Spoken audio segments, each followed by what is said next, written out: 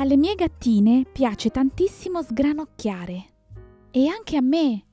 Da quando preparo la granola, la mia colazione è diventata più golosa e croccante. Si conserva in un barattolo ermetico per oltre un mese. Io ne preparo sempre in grande quantità per averla a disposizione ogni volta che voglio. Adoro questa ricetta perché non contiene zuccheri aggiunti come il miele o lo sciroppo d'acero, ma solo tanti semi oleosi, frutta disidratata e frutta secca.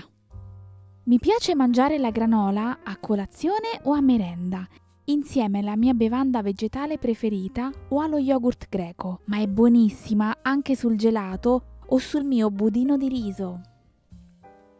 Come sempre, dosi e lista degli ingredienti sono alla fine del video e nell'info box qui sotto.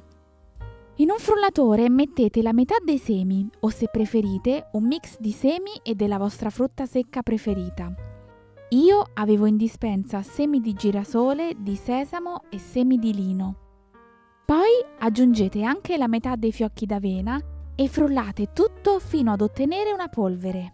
Trasferite il composto in una ciotola profonda.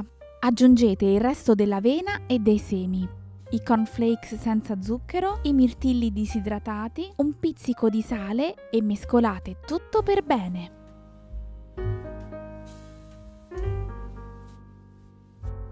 Riprendete ora il frullatore e create una purea morbida frullando i datteri precedentemente denocciolati insieme all'acqua.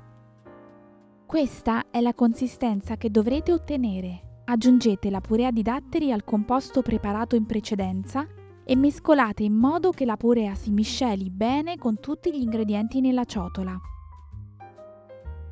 Versate ora la granola su una teglia foderata di carta forno e cuocete in forno ventilato a 180 gradi per 30 minuti, avendo cura di rimescolarla ogni 10 minuti, in modo da ottenere una cottura uniforme.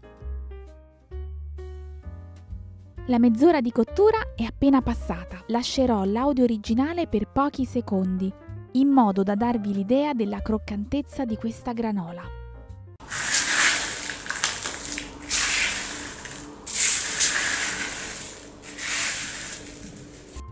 Non è incredibile?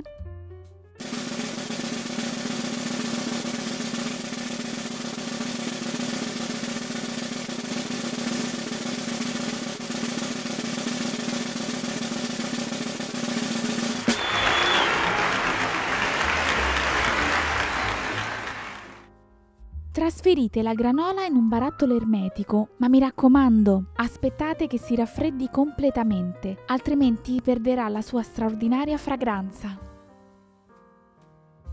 Buona merenda!